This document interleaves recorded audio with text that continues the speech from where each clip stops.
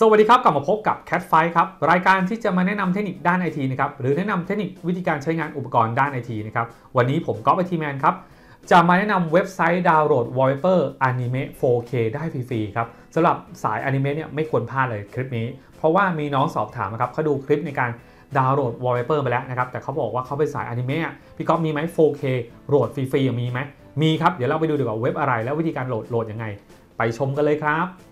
เดี๋ยวเรามาดูเว็บไซต์นะครับที่จะมาแนะนำวันนี้นะครับในส่วนของการดาวน์โหลด Wallpaper Anime นะครับ 4K นะครับได้ฟรีๆเลยไม่เสียค่าใช้จ่ายเลยนะครับนี่ก็คือชื่อว่าเว็บไซต์ Wallpaper Fair นะครับก็คือเขาเรียกว่า Wallpaper เปลวเพลิงเลยนะโอ้โหนะครับซึ่งพี่กอบทิ้งลิงก์ไว้ด้านล่างแล้ว กดเข้ามาแล้วเจอหน้านี้เลยนะครับแต่ก่อนจะเข้าไปอ่าเช็คสักนิดนึงให้มั่นใจทุกคนแบบเอ้ยพี่เอ่อลิงก์นี้มันอันตรายหรือเปล่านะครับเดี๋ยวเรามา กดดูลิงก์นี้อะ copy นะครับแล้วก็มาที่ไวรัส total นะครับก็คือที่ก็เคยแนะนำว่าให้เราสามารถเอา URL มาเช็คได้นะครับก็กดเช็คไปนะครับปุ๊บอ่านี่ก็คือก็บอกแล้วว่าไม่มีปัญหานะครับเว็บไซต์ก็คือที่ทั้งหมดแจ้งเตือนว่าไม่เจอปัญหาอะไรกับเว็บไซต์นี้นะคลีนนะนะครับก็มั่นใจได้นะครับอะคราวนี้เราเข้ามาที่ Wallpaper Fair นะครับก็คือกดเข้ามาเนี่ยก็ของเขาก็จะมีโฆษณานิดหน่อยนะครับโฆษณาของเขาแล้วก็จะมีนี่นะครับเรื่องของรูป Wallpaper ที่เยอะมากเลยนะครับนี่ฮะ นี่ตรงนี้มันจะบอกความละเอียดสูงสุดของภาพที่เราจะโหลดมาได้เนี่ยได้เท่าไหร่บ้างนะครับ ตรงนี้นะครับเนี่ยจะบอกแต่ละอันนะ เราชอบมันไหนโอ้โหดาบพิฆาตอสูรกดเข้าไปเลยครับนี่นะครับชอบสมมติเราชอบ กดมาปุ๊บเนี่ยตัวระบบเว็บไซต์จะดีเทคว่ามอนิเตอร์ตอนนี้ที่แสดงอยู่เนี่ยเป็นความละเอียดเท่าไหร่นะครับเราจะสามารถกดตรงนี้ได้เลย เพื่อดาวน์โหลดได้เลยก็ได้นะครับกับอันนึงก็คือเราเลื่อนลงมาด้านล่างได้ครับก็คือ เอารูป original เนี่ยความละเอียดสูงสุดเท่าไหร่ที่เขามีนะครับก็เราสามารถมาดูได้เราจะโหลดรูป original เลยก็ได้นะครับหรือเราจะมาเลือกเฉพาะ resolution นะครับให้ตามความต้องการที่เราต้องการดาวน์โหลดก็ได้เหมือนกันนะครับเพอเอิญว่าบางอย่างเราบอกเฮ้ย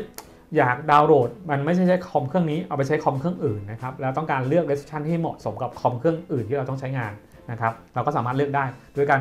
กดชุด resolution and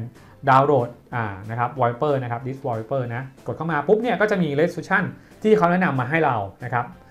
ซึ่งก็มีหลายหลายหลายอันเลยนะเห็นไหมเยอะแยะไปหมด iPhone ก็มีเห็นไหมนะครับนี่ฮะเราสามารถดาวน์โหลดได้เลยนะครับมาดูที่เลือกที่ต้องการแล้วกันอ่าพี่ก๊อฟเลือกเฉพาะในหน้าจอของคอมพิวเตอร์ตัวนี้นะครับก็คือ 1920คูณ1080นะก็เลือกได้แล้วก็กดครับ กดเข้ามาปุ๊บนะครับก็จะมาหน้านี้ก็คือ 3 หัวข้อเลือกครับอันดับแรกก็คือดาวน์โหลดนะครับคือกดดาวน์โหลดเลยก็คืออันสองก็คืออ่า full preview นะครับอันที่ 3 ก็คือ cop wallpaper online ก็คือกรณีที่เกิดเราต้องการ cop เฉพาะหน้าจอไปใช้กับสมาร์ทโฟนเราก็สามารถเลือก cop ได้ด้วยนะอันนี้เราสามารถเลือกได้เดี๋ยวพี่ก๊อฟกดเร็วเนี่ยตัวนี้นะมันจะทำการนะครับเนี่ยให้เราเลือก cop เฉพาะส่วนที่เราต้องการอาจจะเป็นวุฒิ cop ตรงนี้ก็ได้ เราเอาเฉพาะบางส่วนเนี้ย ได้อย่างนี้นะฮะแล้วเราก็กดclick to download ที่ crop wallpaper นะกดอะกด แล้วเราก็เซฟเปิดออกมาเห็นไหมจะเป็นภาพที่เรา crop นะครับอันนี้ก็คือเราสามารถเลือกได้นะครับกรณีที่เราต้องการ crop ภาพออนไลน์เอาไปใช้กับอุปกรณ์เฉพาะของเรานะครับหรือต้องการดาวน์โหลดก็คือกดดาวน์โหลดได้เลยครับนี่กดดาวน์โหลดมาได้เลยแล้วก็เซฟนะครับแล้วเราก็มาเปิดดูนี่ฮะได้แล้วภาพ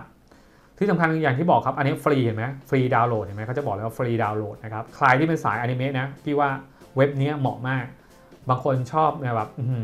แล้วเป็นมีภาพที่เป็นเหมือนกับวายสกรีนด้วยนะ เห็นไหมเกิดเอาจอ 2 จอมาต่อกัน 3 จอมาต่อกัน แล้วต้องการให้ภาพมาเรียงกันแบบเป็นภาพภาพเดียวสวยๆนะครับ นี่ก็มีรองรับเนี่ยฮะ มีให้ดาวน์โหลดเยอะแยะไม่หมดเลยนะครับ ให้สังเกตตรงนี้ด้วยก็คือตรงนี้ที่บอกว่าพิกเซลสูงสุดของเขานะครับว่ามีเท่าไหร่บ้างนะครับ